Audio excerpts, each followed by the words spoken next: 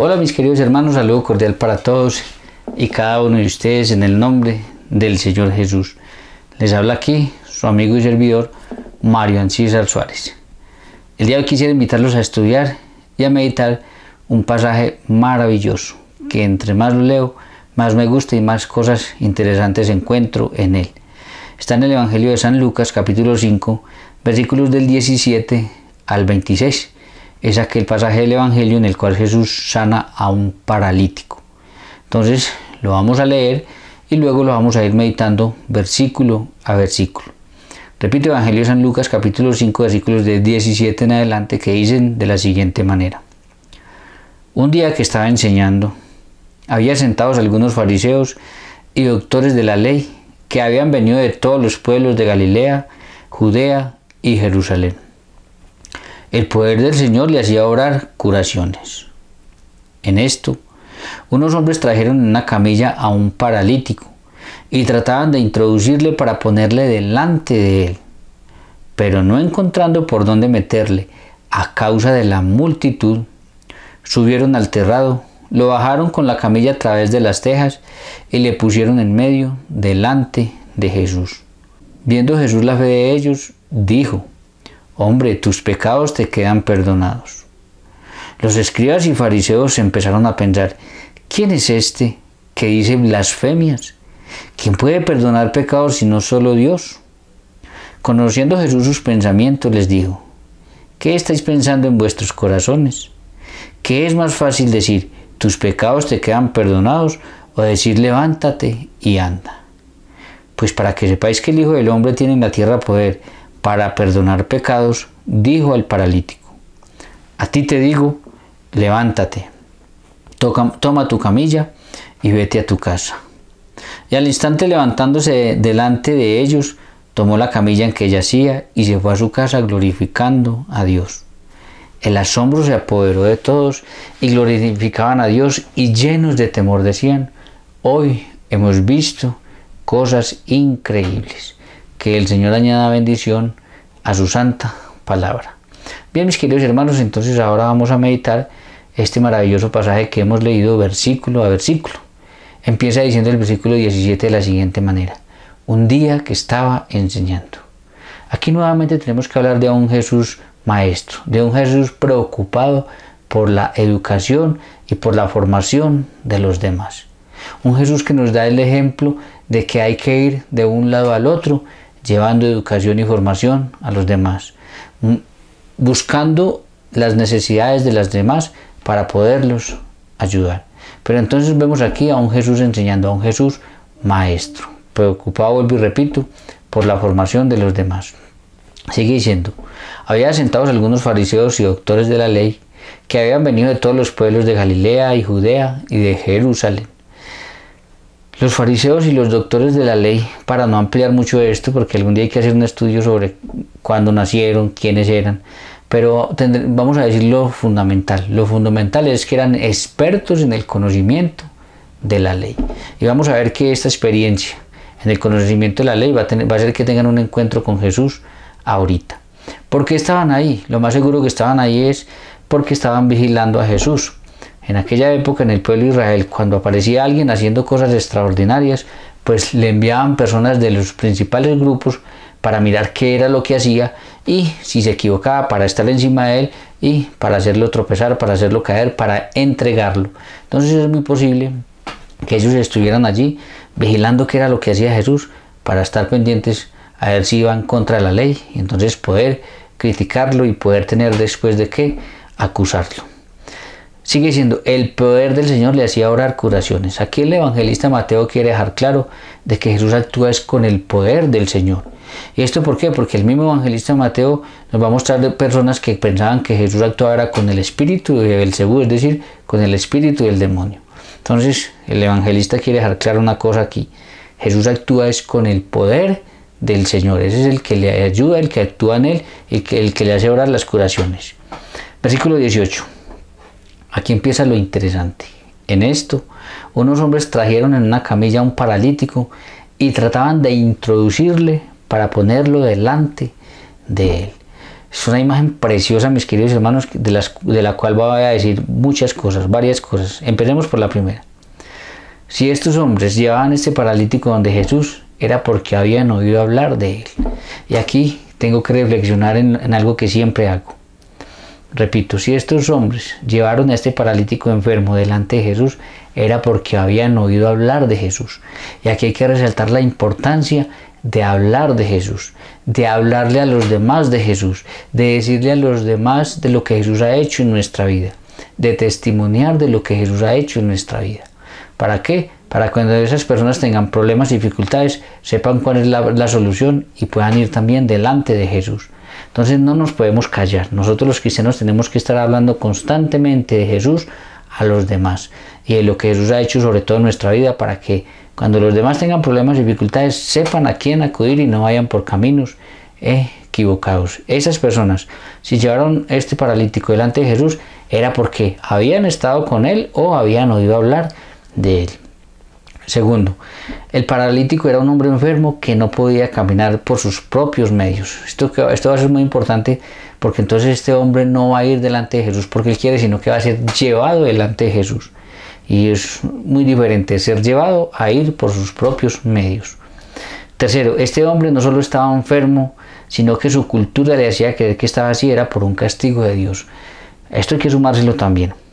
Este hombre no solamente estaba paralítico toda su vida, sino que su cultura, su misma fe, le hacía creer que estaba así era por un castigo de Dios, ya sea por algo que era hecho sus padres o por algo que era hecho él. Entonces fuera de tener el cuerpo mal, tiene la mente completamente dañada por su misma fe, por su misma cultura. Y esto también va a ser interesante. Cuarto, creo que cuarto, este hombre ser sanado no por su fe, esto es bien interesante, sino por la fe de los que los llevaron. Y esto nos va a poner a pensar a nosotros también en que podemos llevar delante de Jesús un montón de personas que a lo mejor no quieren o no están interesadas, pero nosotros los podemos llevar y el Señor va a actuar en la vida de esa persona. Yo siempre diré que es más fácil cuando yo tengo mi voluntad puesta y creo que Jesús me va a sanar, a que me ayude, a que, a que yo lleve a una persona que no quiere, que no desea o que no le interesa. Pero aún así el Evangelio nos va a mostrar que en cualquiera de los casos, cuando hay fe grande, el Señor puede actuar en medio de esa persona. Eh, quinto, creo yo, es una invitación a poner delante de Jesús a los demás. Entonces, esto mismo nos va a mostrar, como este hombre no fue por sus propios medios, sino que fue llevado, nos va a mostrar que eh, o nos está haciendo la invitación a poner delante de Jesús a las demás personas. Eh, sexto, nos invita a pensar si nosotros somos de los que ayudamos a llevar la camilla de los demás o no. Esto es bien interesante porque eh, hay personas que lo ven a uno que participa en la iglesia, que estudia la Biblia, que va a cursos, que va a la Eucaristía, etcétera, etcétera. Y le dicen, ay, ore por mí. Y hay veces que uno dice, bueno, pero ¿por qué ore también ustedes que también usted puede orar? Y eso es una forma de no ayudar a llevar la camilla a los demás. Entonces nosotros tenemos que ayudar a llevar la camilla a los demás. Tenemos que ayudar a cargar con los problemas de los demás. De alguna manera, es una invitación que la palabra del Señor nos hace a nosotros los creyentes, que creemos en Jesús y estamos convencidos, tenemos que ayudar a cargar a aquellos que no están muy convencidos o que no pueden. Entonces, ¿qué tanto ayudamos nosotros a llevar las camillas y los problemas y las dificultades de los demás, sobre todo delante de Jesús? Nos invita, y aquí está el centro de todo esto, nos invita a pensar a quién llevamos nosotros nuestras parálisis es decir, nuestras enfermedades, nuestros problemas, nuestras dificultades, etcétera, etcétera. Delante de quién las ponemos. Y esto es tremendo, mis queridos hermanos, porque nunca, a mí nunca se me va a olvidar, eh, cuando yo vivía en la ciudad de Medellín, yo tenía un trabajo en el cual entraba a las 6 de la mañana. Y a veces uno a las 8, 8 y media salía a desayunarse algo y yo veía unas filas tremendas, tremendas, larguísimas, desde que ya, antes, mejor dicho, yo entraba a las 5 y media para iniciar trabajo a las 6 de la mañana. Desde las 5 y media que yo llegaba, yo veía una fila tremenda allá al frente donde yo trabajaba. Cierto día me causó mucha curiosidad y pregunté qué era lo que sucedía ahí. Resulta que era que había un brujo que, dice, decían, le ayudaba con los problemas a las demás personas. Y a mí eso me marcó para toda la vida. Yo ver personas que a lo mejor están ahí desde las 3, 4 o 5 de la mañana haciendo unas filas tremendas para que un brujo los atienda, me marcó para toda la vida porque a esas personas, eh, lastimosamente, muchos, muchos el día de hoy les hacen fila. Pero a Jesús, quieren que Jesús no le sacan ni cinco minutos. Y fuera de eso, si le piden algo, se lo piden a las carreras de Jesús y lo obligan a actuar inmediatamente. Entonces, mis queridos hermanos, delante de quién llevamos nosotros nuestros problemas y nuestras dificultades y nuestras enfermedades, delante de quién. Delante del demonio, como lo hacen un montón de personas que hacen filas largas para llevar eso delante del demonio, porque ahí no actúa Dios, ahí lo que actúa es el demonio.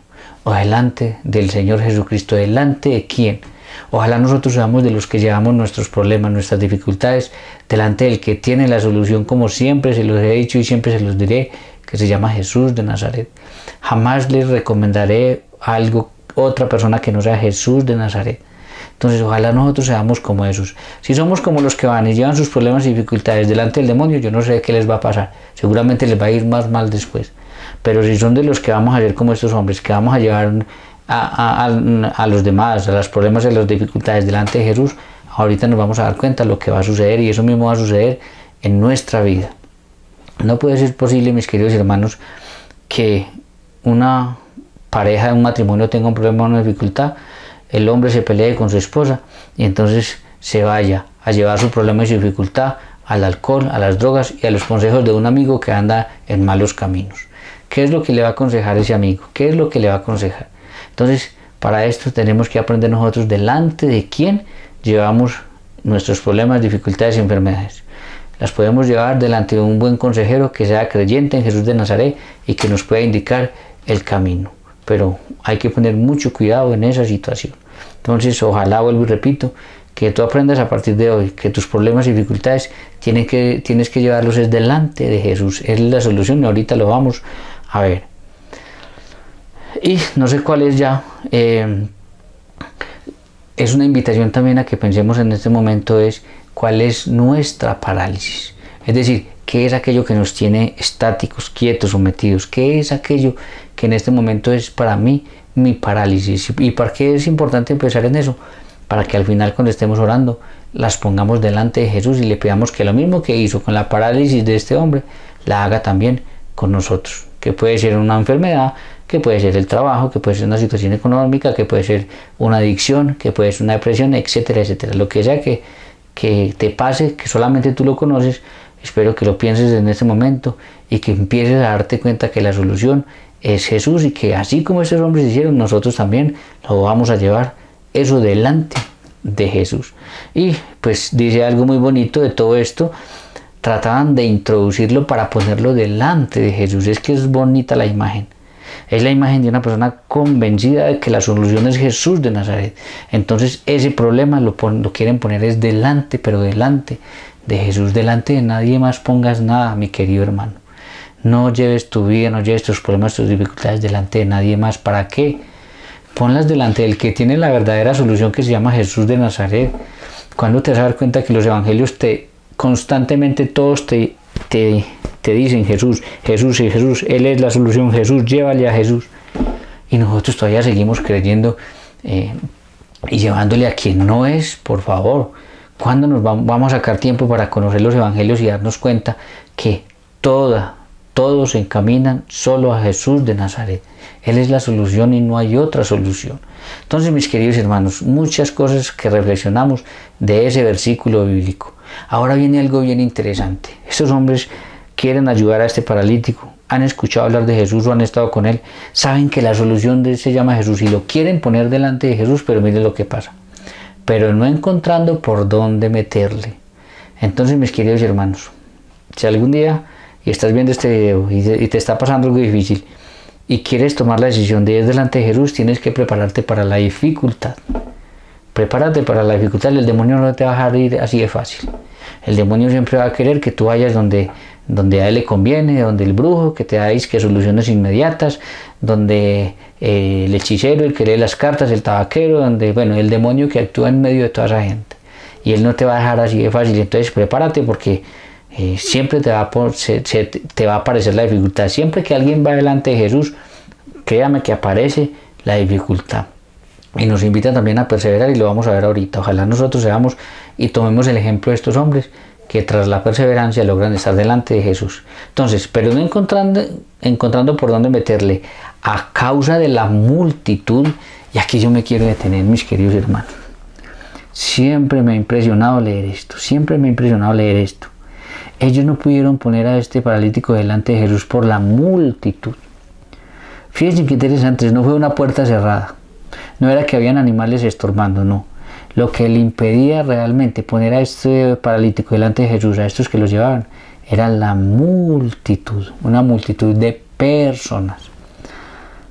Esto para indicar que siempre van a ser las personas las que nos impiden ir delante de Jesús. Siempre van a ser las personas las que nos impiden llevar nuestros problemas y dificultades delante de Jesús. Les voy a poner algunos ejemplos y lo tengo que decir aunque me duela, pero lo tengo que decir, aquí no estamos para ocultar nada, sino para ver esas realidades claras y cómo están sucediendo. Obispos que cometen eh, todo tipo de pecado contra niños, etcétera, etcétera. Esas son personas que son multitud que nos está estorbando para llegar delante de Jesús. ¿Cuántas personas han dejado de llevar sus problemas y dificultades delante de Jesús? ¿Cuántos han dejado de creer en Dios, de creer en Jesús por el testimonio de estos hombres que han caído en desgracia? Hombres por los cuales lo que tenemos que hacer es orar mucho porque yo no me imagino cuando estén delante de Dios y tengan que cargar con la responsabilidad de un montón de gente que se alejó de Dios por culpa de los pecados de ellos. Entonces, vuelvo y repito, mucho hay que orar por estas almas, por estas personas, porque no me imagino lo que les espera. ¿Cómo más? Sacerdotes que han caído también en violaciones, que no ejercen bien su ministerio, que dan mal testimonio. Esas siguen siendo personas que son multitud que nos estorban para ir delante de Jesús. Me va a decir que no. Díganme ustedes si muchos no conocemos nosotros que no van delante de Jesús porque dicen, ¿y yo para qué voy a la iglesia? No, esos curas lo que hacen, esos obispos lo que hacen. Entonces, mis queridos hermanos, esos son multitud, así como la que había en, esta puerta que le impedía a estos hombres llegar con este paralítico delante de Jesús. Religiosos, predicadores que no dan testimonio de su fe que predican pero no aplican, que cometen errores y equivocaciones de las cuales todos, eh, eh, todos somos pecadores y podemos caer, pero que lastimosamente arrastran con la fe de muchísimas, de muchísimas personas. Todo esto son lo que dice claramente este pasaje bíblico. Multitud de personas que estorban para llegar delante de Jesús. También un montón de familiares que cuando lo ven a uno que entrega su vida a Jesús y empieza a participar, empiezan a criticar, a decirle chupalabrillo, lambe no sé qué, en fin. Y muchas personas se llegan a desmotivar y no perseveran y no, no siguen adelante por causa también de familiares que les estorban y les hacen la vida imposible cuando ellos quieren ir delante de Jesús y poner su vida delante de Jesús. Entonces ahí vemos claramente la misma situación, la misma situación. Lo que nos impide realmente ir delante de Jesús no es una puerta cerrada, no es una multitud de animales, porque ¿quién va a pelear con un animal? Usted pelea en su casa es con su esposa, con sus hijos, con, los, con las personas. Entonces lo que realmente nos estorba para ir delante de Jesús es la multitud de personas. Y hoy tenemos un montón de casos en el mundo entero, cada vez se destapan más de casos de multitud de personas que son obstáculos que nos estorban a muchas personas para llevar nuestros problemas y dificultades delante de Jesús, como está sucediendo en este pasaje bíblico.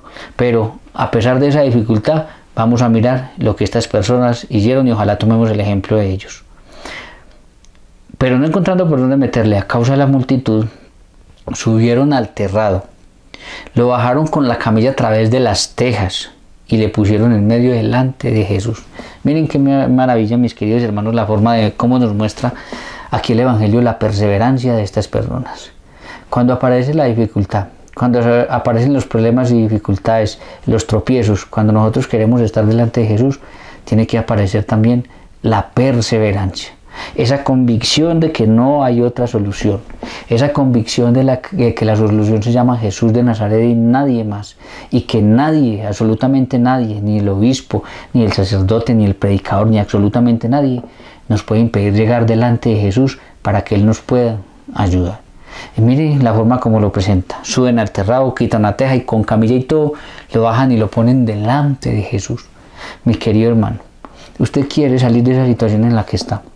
Usted quiere que el Señor lo ayude con ese problema, esa dificultad en la que está. Usted quiere que el Señor lo ayude con esa parálisis que usted tiene en este momento, sea un empleo, sea una depresión, sea una aferrado a algo, sea una enfermedad, lo que usted quiera que sea. Pues la solución es delante de Jesús. Que no es para ti, que es para un conocido tuyo. La solución de Jesús tienes que ponerlo delante de Jesús. Tienes que estar convencido como estos hombres de que no importa la dificultad. Que cuando logres llegar delante de Jesús, Jesús algo hará. Él no se va a quedar con, con las manos quietas. Él va a darse cuenta de esa situación y algo va a hacer. Y tienes que tener esa certeza, tienes que tener esa seguridad que Jesús algo va a hacer y nada, pero absolutamente nada te puede atrancar. Si no, te vas a caer paralítico para toda la vida, te vas a caer enfermo. Tus familiares, las personas que estás poniendo delante de Jesús, se van a caer así para toda la vida, porque estás desperdiciando la oportunidad de lo que estos hombres nos están mostrando, que la solución es Jesús de Nazaret y que hay que vencer la dificultad. Si ellos llegan y ven semejante multitud y dicen, no, no, no, no, otro día más bien y se van, a lo mejor este hombre nunca hubiera sido sanado y hubiera sido tocado por el Señor. Entonces, no te dejes desanimar. Cuando aparezca la, la dificultad, persevera.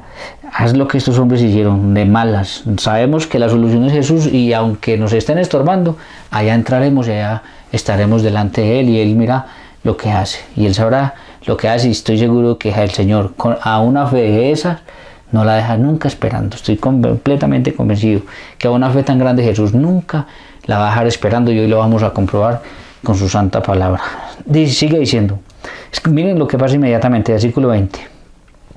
Viendo Jesús la fe de ellos, dijo, Jesús no vio la fe del paralítico, el paralítico a lo mejor su, mentalidad, como les dije, estaba tan dañada que él creía que Dios no lo quería, que creía que su enfermedad era un castigo de Dios a, él por algo que cometió o por sus padres haber cometido algo. Entonces, él no ve la fe de este hombre porque no es la fe de este hombre la que va a hacer que ocurra este milagro, es la fe de los que lo llevaban. Y es una invitación, mis queridos hermanos, a que a todas aquellas personas que conocen ustedes, que están pasando problemas y dificultades, pues los pongan ustedes delante de Jesús con esa fe firme, sin, venciendo dificultades, haciendo lo posible, convencidos de que la solución está estar delante de Jesús y que así como estos hombres lo hicieron, ustedes también pueden poner a esas personas delante de Jesús. Miren, Jesús viendo la fe de ellos, miren, miren, miremos lo que hace, miren qué, qué va a hacer Jesús.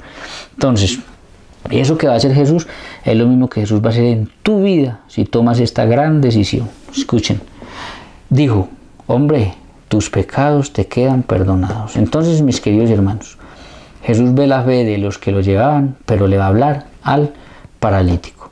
Ojo, ojo, no te dice vas a ser sano, sino tus pecados te son perdonados. Y aquí entra a jugar una cosa que ya tiene que ver con la presencia de los fariseos y doctores de la ley que estaban ahí sentados. Entonces enseguida lo vamos a, a meditar y vamos a ver también por qué Jesús, sabiendo que esta persona necesita ser sanada, pues le va a decir que tus pecados te quedan perdonados. Pero eso lo vamos a entrar a mirar ahorita. Pero Jesús ve la fe de los que lo llevan y le va a hablar a la persona que necesita la ayuda. Versículo 21. Los escribas y fariseos, mira aquí están los fariseos y los escribas, los expertos en la ley. Entonces, los escribas y fariseos empezaron a pensar, ni siquiera a decir, sino a pensar. ¿Quién es este que dice blasfemias? ¿Quién es este que está insultando a Dios? Es una blasfemia insultar a Dios. ¿Quién es este que se atreve a insultar a Dios? Ahora, miremos por qué pensaban que Jesús estaba insultando a Dios y estaba cometiendo una blasfemia. Dice, ¿quién puede perdonar pecados si no solo Dios? Entonces es bien interesante, mis queridos hermanos, porque ellos como líderes, como conocedores de la ley, pues ellos tenían clara una cosa, que según la ley, según el Antiguo Testamento, la forma, eh, el único que puede perdonar pecados es solo Dios. Eso lo dice Éxodo 34, versículo 6 en adelante. Entonces, ellos tienen clara una cosa como conocedores de la ley. El único que perdona pecados es Dios. Y aquí Jesús, que es un hombre, que ellos lo ven como un hombre, le está perdonando los pecados a un hombre. Y ellos saben que además, para perdonar los pecados no es yo te perdono, sino que además de eso, eh, según la ley Levítico 4, 5, eh, se tenía que hacer un sacrificio. ¿sí? El sacerdote tenía que ofrecer un sacrificio. Entonces, si no, si no era Dios el que estaba perdonando y no había un sacrificio y no se estaba haciendo ese sacrificio por el perdón de los pecados, pues entonces, claro, ellos piensan, este está cometiendo es una gran blasfemia. ¿Por qué? Porque ellos no estaban viendo a Cristo como Dios. Y cuando uno no ve a Jesucristo como Dios, pues entonces todas un montón de cosas que Jesús hace, uno las termina viendo mal. Y eso fue lo que le pasó a estos hombres. no fueron capaces de ver a Jesucristo como Dios, por lo tanto pensaron que lo que estaba haciendo era una simple y gran blasfemia. Miren lo que sigue diciendo el versículo 22. Conociendo Jesús sus pensamientos. ¿Se acuerdan que ellos no hablaron en voz alta, sino que pensaron? Conociendo Jesús sus pensamientos les dijo, ¿qué están pensando en vuestros corazones? Ellos estaban pensando, pero Jesús sabía lo que ellos estaban pensando. Dice el Salmo que Dios conoce nuestros pensamientos. Entonces no hay ninguna duda de que Jesucristo es Dios y conoce lo que ellos están pensando. Versículo 23. ¿Qué es más fácil decir? Escuchen esto. Tus pecados te quedan perdonados o decir levántate y anda. Entonces, mis queridos hermanos, este hombre necesita una sanación física, pero Jesús le dice tus pecados te son perdonados. Aquí es donde vamos a mirar entonces el por qué. Si él necesita una sanación física, porque Jesús le dice tus pecados te son perdonados. Primero, primera razón, porque en el judaísmo se creía que una persona enferma era porque él o sus padres habían cometido algún pecado. Entonces, como en el judaísmo se creía esto, pues entonces Jesús le dice, tus pecados son perdonados. De alguna manera está diciendo de que la enfermedad que él tiene es consecuencia del pecado. Y así es. Si nosotros nos vamos al libro del Génesis, todo lo malo que existe, la enfermedad y todo lo demás, es consecuencia del pecado de desobediencia del hombre a Dios. De alguna manera Jesús está haciendo la relación de que todo problema que nosotros tenemos, todo pecado, toda enfermedad, pues tiene que ver con el pecado de desobediencia. Y segundo, porque Jesús quería darle una lección, o segundo, porque va a decir tres, Jesús quería darle una gran lección a estos escribas y estos doctores de la ley. Jesús quería que ellos se dieran cuenta que Él era Dios y que tenía poder para perdonar pecados. Y tercero, y esto es muy importante, mis queridos hermanos, porque Jesús quiere sanar a este hombre integralmente. Mis queridos hermanos, esto es bien importante. Este hombre antes que la sanación física, lo que necesita es sanar su mente. Y al necesitar sanar su mente, pues Jesús va a hacer en él una sanación integral. Y eso es bien importante que nosotros lo tengamos claro porque muchas veces podemos ir delante del Señor con una enfermedad, pero primero tenemos que sanar nuestra mente. Y el Señor hace sanaciones integrales. El Señor sí puede coger a una persona eh, eh, que esté eh, por una enfermedad que tenga, pero puede que esa persona tenga un problema psicológico, ¿sí? que esta persona esté pensando como no es, que esta persona tenga un pensamiento equivocado y al Señor le gusta hacer sanaciones integrales. Seguramente el Señor sabe que si lo sana así físicamente, pues ya, pero el Señor aquí lo va a sanar, lo va a sanar integralmente, primero mentalmente, de esa mentalidad que él tenía de que eso era un castigo de Dios, le va a demostrar que eso no era un castigo de Dios, y segundo, de su enfermedad. Entonces Jesús por eso hace este cambio. Cuando él necesita una sanación física, Jesús le dice, tus pecados te son perdonados. ¿Por qué? Porque Jesús le encanta la sanación integral. Le encanta. Y este hombre, primero que todo, antes que sanar físicamente, necesita sanar su mente, que la tiene completamente descuadrada. Es más, estoy seguro de que este hombre no hubiera ido delante de Jesús si no es porque estas otras personas los llevan. Este hombre creía que de Dios no merecía nada, que Dios lo tenía castigado y que allí tenía que morir. Versículo 24. Pues para que sepáis que el Hijo del Hombre tiene en la tierra poder para perdonar los pecados, dijo al paralítico. Ojo mis queridos hermanos, quiero que estemos muy pendientes con lo que viene, porque esto es lo que te va a decir a ti, esto es lo que le va a decir a ese querido, esto es lo que le va a decir a ese familiar, a ese amigo, a ese conocido, por el que tú estás orando. Si es para ti, te lo va a decir a ti. Si es para una persona por la que estás orando, se lo va a decir a esa persona. Entonces, ojo, ojo con lo que Jesús les va a decir. A ti te digo, a ti te digo. El Señor le dice, a ti te digo. No le dijo a los que tenían la fe y los llevaban, sino a ti, a ti el paralítico, te digo, levántate. Ay, mis queridos hermanos, así nos quiere Dios. Estás pasando problemas y dificultades. Conoces a alguien que esté pasando un problema y dificultades. Pues ore y póngalo delante de Jesús, mi querido hermano. Porque lo que el Señor quiere es que esa persona no esté postrada, sino que esté levantada. La gloria de Dios es el hombre de pie. El Señor, a ti te digo, levántate. Así es como el Señor nos quiere levantados. Él está postrado, pues el Señor te dice, yo no te quiero ver así, te quiero levantado. Lo primero que te va a decir es, levántate. Eso, escucha esa buena noticia para ti o para la persona por la que estás orando. El Señor le va a decir, levántate, levántate. Toma tu camilla, oiga, toma tu camilla. Es decir, toma ese problema en el que has estado sometido para toda la vida, tómala. Eh, no es las, eh, el Señor no nos hizo para que una camilla nos llevara toda la vida. El Señor no nos hizo para que las drogas nos lleven toda la vida. El Señor no nos hizo para estar sometidos a algo toda la vida. El Señor nos hizo para que sometamos a todo lo demás. Entonces no debiera de ser así, eso no es lo normal. Eso no es lo que Dios quería en un principio para nosotros. Dios jamás quiso que este hombre estuviera desde su nacimiento sometido a una camilla. Por eso el Señor le dice, toma ese, toma ese problema que te ha tenido sometido para toda la vida. Tómalo, tómalo. Entonces tenemos que asumir con autoridad eso que Jesús nos está diciendo. Ojo, ojo, eso que te somete a ti, tómalo eso que te tiene sometido, eso que tiene sometido a la persona por la que estás orando, que lo tome, porque eso es palabra del Señor, levántate, tómala. Ojo. Y mire lo, otro que le dice, levántate uno, toma tu camilla y vete a tu casa. De su casa salió en una camilla, a su casa va a regresar con su camilla al hombro. Gracias a que unos hombres tomaron la decisión de que éste llevándolo delante de Jesús, Jesús podía hacer algo por esa persona. Entonces, mis queridos hermanos, de su casa salió en una camilla donde había estado sometido toda su vida. A su casa va a llevar con la camilla al hombro para que la gente se dé cuenta de que fue verdad, que fue sanado por el Señor, que el Señor nos quiere es con la camilla al hombro, no sometidos a ella. El Señor quiere es que ese problema de alcohol que tenga, te lo eches al hombro y llegues corriendo a la casa diciendo, no, ya, ya no estoy sometido a esto que esa enfermedad que tienes te la eches al hombro y llegues diciendo yo no estoy sometido a esto, ya no estoy sometido a esto. Que ese problema, dificultad, lo que sea que te esté pasando, llegues con él al hombro, dándote cuenta de que eres libre, que el Señor te quiere libre y que no es eso lo que te tiene que llevar sometido, sino que usted tiene la capacidad, por orden de Dios, de echarte todo eso al hombro y someterlo a Él. Entonces, sale sometido por la camilla, llega la camilla sometida a Él y al hombro de Él. Es simplemente maravilloso y es lo que va a pasar en tu vida si es para ti o en la vida de aquella persona por la que estás orando, si estás orando por otra persona. Sigue diciendo, y al instante, levantándose delante de ellos, tomó la camilla en que hacía y se fue a su casa glorificando a Dios.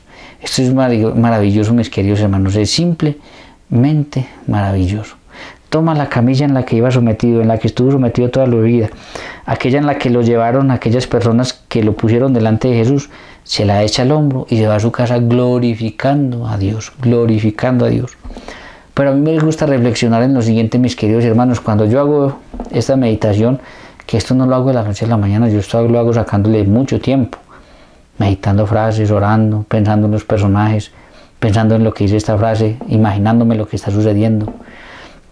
A mí me gusta mucho reflexionar cuando leo esto en lo siguiente, mire. Cuando este hombre fue llevado por estas personas y lo querían poner delante de Jesús, no podían, no podían entrarlo porque la multitud estorbaba. Y hablamos de cómo la multitud hoy en día estorba para nosotros estar delante de Jesús. Ya dijimos, sacerdotes, obispos, predicadores, gente dando mal testimonio que vemos mucha hoy en día. Después de un encuentro con Jesús, este hombre sale y allí nadie estorba. Y me encanta esta reflexión, mis queridos hermanos, porque fue algo que sigue sucediendo en mi vida y que pasó en mi vida. Cuando yo veo todos los escándalos que están sucediendo hoy en día, como ya tuve un encuentro con Jesús, yo oro por estas personas y me lamento mucho por toda la gente que pierde la fe, pero eso no acaba mi fe. Eso no me estorba. Eso me pasa lo mismo que a este, que a este personaje. Cuando llegó, estorbaba a la multitud. Después de un encuentro con Jesús, nada, nada te estorba. Tú ya sabes quién es el que te ayuda, tú ya sabes a quién sigues, tú ya sabes quién es tu Señor, tú ya sabes cuál es la solución y absolutamente nada te estorba. Repito, es muy lastimoso lo que se ve hoy en día con tanto mal testimonio, sobre todo de obispos y sacerdotes. Es terrible esa situación, pero eso a mí ya no me estorba para nada. Eso no me hace perder la fe. Eso no me hace echar para atrás cuando tengo problemas y dificultades y los pongo delante de Jesús nunca. Miren que este hombre, cuando iba para donde Jesús, entonces todo eso estorbaba. Después de un encuentro con Jesús, absolutamente nada estorba.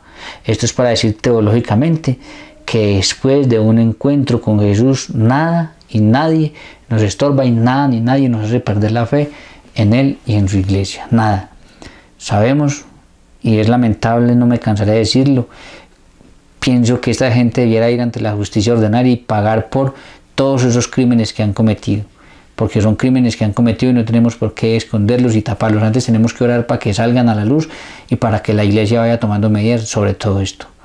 Pero después de un encuentro con Jesús, mis queridos hermanos, nada de eso nos estorba. Ahí sí, como este hombre, simplemente sale y ahí sí nadie estorbó. Estorbó para llegar. La dificultad fue para llegar a tener el encuentro con Jesús. Pero después de un encuentro con Jesús, nada. Ni siquiera semejantes escándalos como los que nos ha tocado ver nos estorban. Ya sabemos quién es nuestro Señor. Hemos tenido un encuentro con Jesús, hemos estado delante de Él, hemos sido sanados y tocados por Él. Así que nada, pero absolutamente nada nos va a estorbar. Espero que eso pase en tu vida.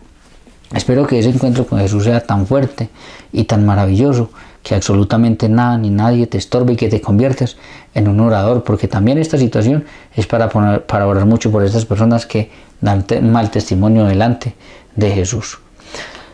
Sigue siendo el versículo 26. El asombro se apoderó de todos y glorificaban a Dios y llenos de temor decían, hoy hemos visto cosas increíbles.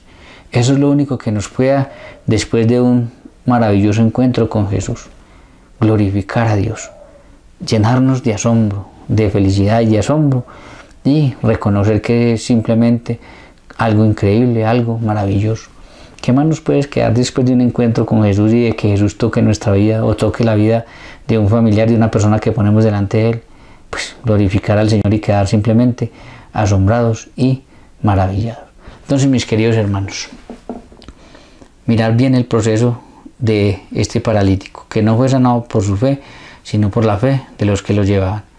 Lo llevaron convencidos que poniéndolo delante de Jesús, Jesús no los iba, no lo iba a dejar así, algo iba a hacer. Se encuentran con una dificultad, la multitud de personas vencen la dificultad, ponen a este hombre delante de Jesús, Jesús ve la fe de ellos, no del paralítico, sino de los que lo llevaban, le habla a este hombre, hacen él una sanación integral. Este hombre nada ya le va a estorbar, ya se va a ir a su casa con sus problemas al hombro. Ya no es el problema el que lo va a tener sometido, sino que él es el que va a someter ese problema. Va a estar sano y todos van a estar glorificando al Señor. Espero, mi querido hermano, que esta reflexión te ayude, te invite, te ponga a pensar que el Espíritu Santo entra en ti y te ponga a pensar, wow, ¿cómo puede ser que el Evangelio nos tenga cosas tan maravillosas, soluciones tan fáciles, soluciones tan claras la cual es siempre Jesús de Nazaret, y yo no me haya dado cuenta y esté cargando con esta situación. Y yo no me haya dado cuenta y tenga un hijo cargando con una enfermedad, un problema, una dificultad. Y yo no me haya dado cuenta y tenga a mi mamá cargando con una enfermedad, un problema, una dificultad. Y yo no me haya dado cuenta y tenga un amigo, un conocido, un, alguien cercano cargando con una camilla que no debiera de cargar porque yo lo, puedo poner delante de Jesús para que Jesús obre en su vida. Entonces, mis queridos hermanos, vamos a orar. Vamos a decirle al Señor, vamos a poner delante de Él nuestras parálisis, para que el Señor, así como a este hombre, también las toque. Amado Señor Jesús,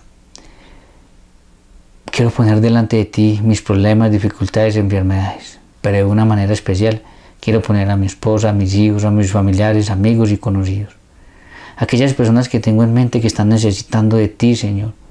Quiero ponerlos, quiero así, así como estos hombres ayudar a llevar su camilla, y no quiero llevarlos a nadie más, Señor, que no seas tú.